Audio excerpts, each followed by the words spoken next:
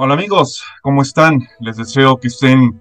pasándola de maravilla, más que nada porque hoy es un domingo especial. Hoy la gran mayoría de las personas va a estar pendiente del Super Bowl, ya sea porque les gusta el fútbol americano o por los trailers que vayan a salir en el medio tiempo o en alguno de los espacios libres del, del partido. Vengo a hablarles aquí de un par de capítulos de The Last of Us, no tuve tiempo de hacerlo anteriormente pero aquí estoy para darles un pequeño resumen de lo que fue el capítulo 4 y el capítulo 5 de esta serie de HBO Max, que va increciendo, va mejorando cada vez más y otorga un nivel de humanidad increíble a la propia historia y a los personajes que en ella participan.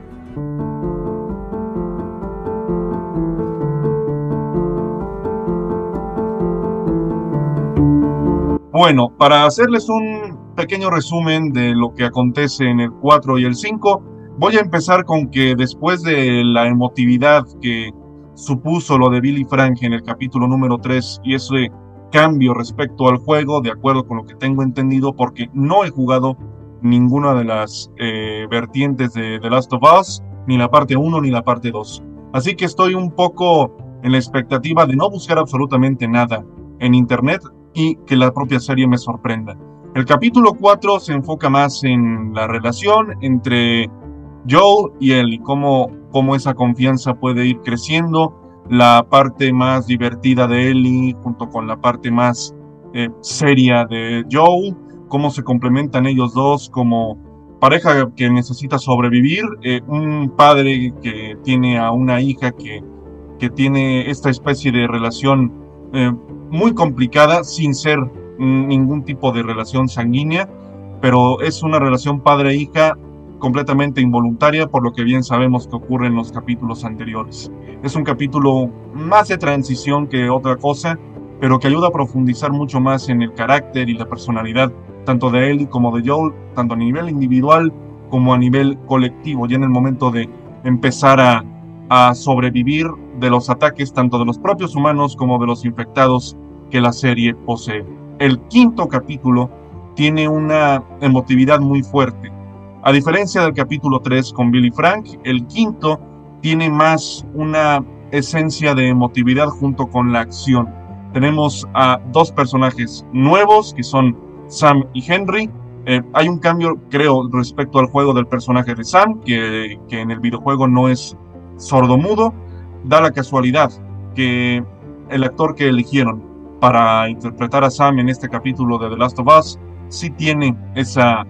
esa sordomudez, por decirlo de algún modo, y aprovecharon eso en la, en la parte de la escritura del guion para darle una profundidad mucho más grande a los dos personajes. Son dos hermanos que sobreviven, eh, que se están escondiendo de lo que ocurre en el mundo exterior y que se encuentran con Joe y Ellie y en lugar de ejecutarlos, son ayudados eh, por, por estos dos para llegar a un lugar mucho más seguro. El capítulo, que dura una hora realmente, eh, tiene una división entre el completo de desconcierto de Joel y Ellie de encontrar a estos dos personajes y la desconfianza que Henry y Joel se tienen mutuamente de si los están guiando a un lugar seguro o los están llevando a un lugar en donde puedan acabar con ellos de, de manera fácil. La relación entre Ellie y Sam a mí me parece muy bonita, es eh, un vínculo muy fuerte que incluso de ser nada más de un capítulo, entendemos muy bien lo que Ellie siente y que no externa nunca a Joel. Vemos siempre una valentía eh, exacerbada por parte de esta niña de 14 años, pero en esta eh, convivencia con Sam vemos el completo desconcierto y el miedo eterno que tiene esta niña de lo que sucede allá afuera con, con los infectados. Yo siempre tengo miedo y lo, lo hace de una forma muy, muy bonita a través de, de escritos que tanto ella como Sam se dejan mutuamente para que se entiendan el uno al otro. Ellos son fans de una historieta, eh, se platican de qué colección tiene cada uno, es una relación muy bonita. Vemos eh, que en uno de los escondites mm, mm, están pues prácticamente solos, en la compañía nada más de, ellos cuatro. Y lo que sucede es que en determinado momento, cuando necesitan salir, eh, son interceptados por, por una tropa de, humanos que, que, son liderados por, un, por, por, una mujer que sinceramente tiene una participación poca o nula en esta, en esta serie. No sé cómo sea en el videojuego,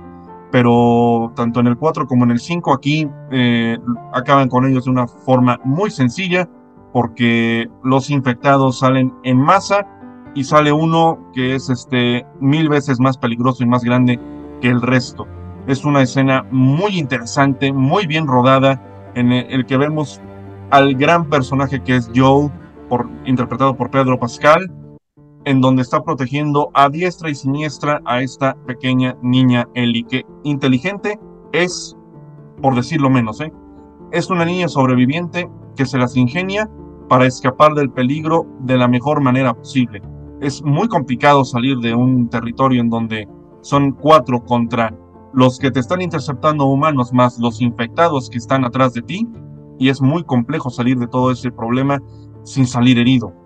Hay una baja importante para el equipo de Joel, Ellie y demás, porque a este niño Sam lo alcanzan a, a morder uno de estos infectados y vemos en el capítulo este quinto que la confianza de Ellie y de Joel con las personas a raíz de lo que pasa al final del, del, episodio podría llegar a ser un poco más disminuida. No sé qué es lo que ocurre en el juego, a expensas de lo que veamos en los siguientes capítulos. Ya estamos a mitad de temporada y a mí me parece un cierre de episodio muy emotivo, muy fuerte, en donde Henry tiene que obrar para, para beneficio propio y de Joel y de Ellie, que es matar a su propio hermano, a su hermano pequeño, y después él se vuelve a la cabeza. Es muy fuerte la, la escena. En el juego seguramente también es así. Y la actuación de Bella Ramsey en este, en este momento es eh, te, te, te, rompe el corazón por cómo está, cómo está implementado y lo que ella tiene que ver. Vemos sus ojos, vemos esa, esa preocupación, ese desconcierto, ese temor de lo que había ella vivido anteriormente con, con Sam en la noche anterior, para que él no tuviera miedo de que si se infectaba él podría ser el mismo y a la mañana siguiente Sam ya no, ya no tiene ningún tipo de rastro de sí mismo. Es un monstruo total y Henry tiene que eliminarlo. Los ojos de Bella Ramsey reflejan muy bien el carácter de esta niña Ellie. Hay muchos comentarios, insisto, de que si Bella Ramsey no tendría por qué haber sido elegida, de que si Pedro Pascal no daba el ancho como Joe. Estamos viendo que esta serie está calle y calle bocas y está mejorando muchísimo con cada, con cada episodio. A mí me está dejando muy satisfecho este producto y sin jugar el juego, encuentro una historia muy interesante y de la cual creo yo que los videojuegos tendrían que aprender a hacer adaptaciones de este estilo. En una serie en donde se profundice los personajes, en donde las situaciones sean creíbles y donde cada uno de ellos juegue un papel importante en cada uno de los episodios que puedan llegarse a realizar de X, D o Z videojuego que los estudios decidan adaptar. Esta es mi opinión de los capítulos 4 y 5 de The Last of Us. Si les gusta el contenido, aquí está abajo el botón de la suscripción para que le den clic y también la campanita para que les lleguen todas las notificaciones. Tendremos el Super Bowl 57 a las 5 de la tarde, hora del centro de México. Yo no le entiendo nada al fútbol americano, pero siempre que hay este evento hay spots de un minuto o trailers de películas que se vienen en el presente año. Muchas gracias a todos, gracias por estar aquí y espero que estén muy, pero que muy bien. Oh,